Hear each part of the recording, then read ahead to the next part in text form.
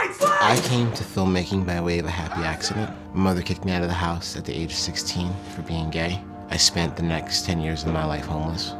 A Marine recruiter approached me and asked me if I wanted to join the Marine Corps. And I said to him, if I can look halfway as good in that uniform as you do, please sign me up. And my recruiter suggested I pick from the top three jobs. And the last one was to be a filmmaker. What you got, French? What am I asking? Making movies and taking pictures for the Marine Corps. Hollywood. That's cool. That's Hollywood. cool, man. So when you ask me where this film comes from, it comes from my experience.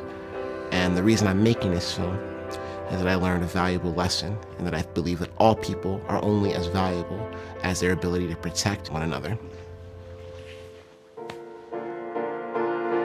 If there's anything in this film that is absolutely true, are the scenes between French and his mother. All of that is directly ripped out of my life. My mother's new friends didn't even know she had a son. And a huge part of why I'm a filmmaker is to make myself unavoidable to her and my family. You'll see me in a movie theater. You're gonna see me on TV. In many ways, the inspection is a story of survival and determination.